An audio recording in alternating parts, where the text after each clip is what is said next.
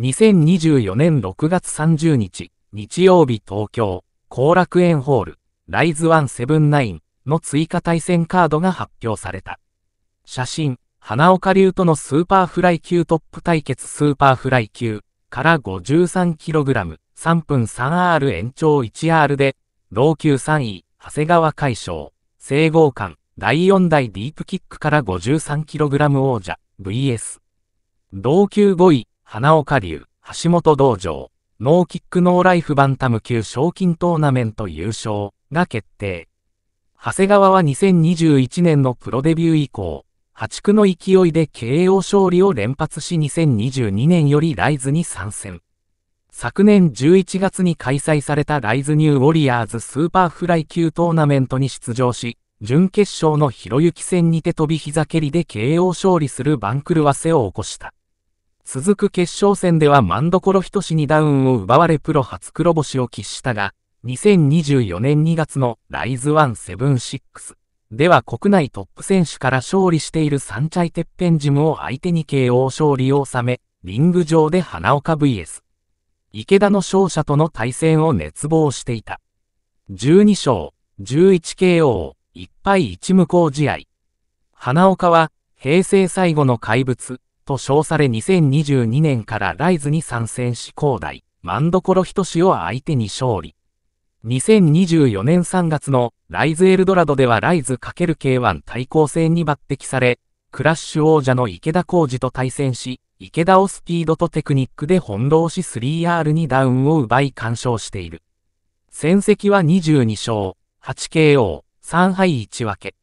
RISE NEW WARRIORS スーパーフライ級トーナメントでは実現しなかった一戦。両者にとって進化を問われる一戦となった。フェザー級、57.5kg、3分 3R 延長 1R では、同級3位、梅井泰成、ムートン、VS。同級6位、翔、REVOLT が決定。梅井は、柔道とレスリングをバックボーンに持ちチームてっぺんに移籍してからは4連勝を飾り、2022年3月に平野良賀との王座決定戦を制して第4代フェザー級王座についた。同年8月の防衛戦で現王者、門口圭介に敗れて以降は、ノーコンテストを挟み現在まで3連敗中と約2年勝利から遠ざかっている。ここは元王者の意地を見せたいところ。ショーはライズウエストを主戦場に17戦12勝4敗1分け。2023年にはランカーの山本健信、鈴木海と2024年には山川県誠を KO と成長著しく、今最も勢いに乗るフェザー級ファイター。元王者の梅井を相手にアップセットを起こし一気にランキングを駆け上がりたいところだ。スーパーフェザー級から 60kg、3分 3R 延長 1R で、同級4位、尾道機構、イギーハンズジムと同級5位、藤井茂樹、チームプラス1が対戦。小野は2021年6月の庄司経馬戦から2022年4月のセイド戦まで4連勝を飾ったが、10月の岩合安成との再戦で負傷判定による引き分け。2023年4月は沢谷大輝に延長 R で敗れて連勝がストップ。今回はそれ以来のライズ参戦となる。戦績は7勝、3KO、6敗1分け。対する藤井はボクシングインターハイ出場経験を持ち、得意のパンチを武器にキングオブルーキー2021から 60kg 級トーナメント優勝。3連勝と波に乗っていたが2022年7月のライズ160で奥平翔太とのイケメン対決で延長ラウンドに及ぶ激闘の末に判定負けを喫し連勝がストップ。2023年1月にはベテラン選手の精度から 2R にダウンを奪い判定勝利で再起を飾り、6月には岩合安成から判定勝ち。藤井もそれ以来のライズ参戦となる。戦績は7勝、1KO、2敗。バンタム級から 55kg、3分 3R 延長 1R では、同級9位、松下武蔵、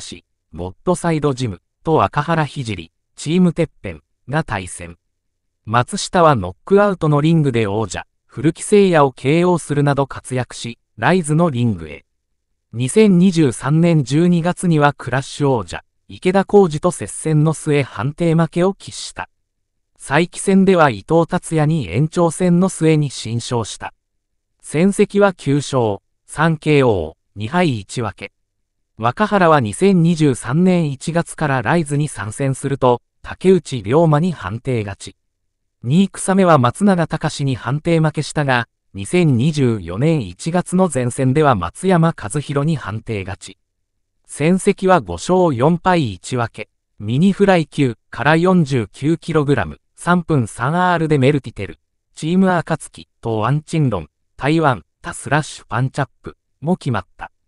メルティは、ザ・ノンフィクションや、月曜から夜更かしに出演、フェフ姉さんと2度対戦して2度とも勝利した最強キャバ嬢として話題となった選手。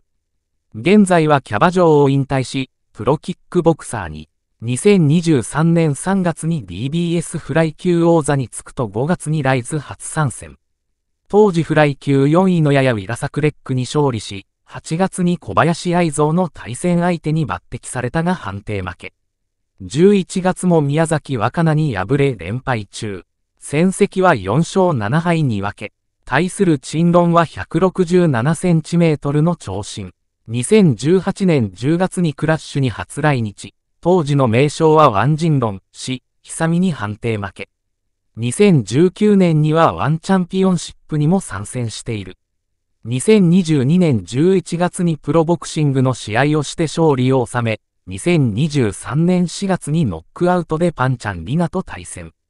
判定2対0で敗れるも前へ出続けるガッツファイトと右ストレート前蹴りでパンチャンを苦しめた。2024年1月のライズ初参戦では小林エリナに KO 負けを喫している。戦績は13勝、1KO、8敗。下向き黒三角ライト級、から 63kg、3分 3R 荒井雄大、ターゲット、ジャパンキャップ2023から 70kg 級優勝、二尾翼、KSR ジム、下向き黒三角ウェルター級、67.5kg、3分 3R アビコタカマサ、YSCC。キックボクシ、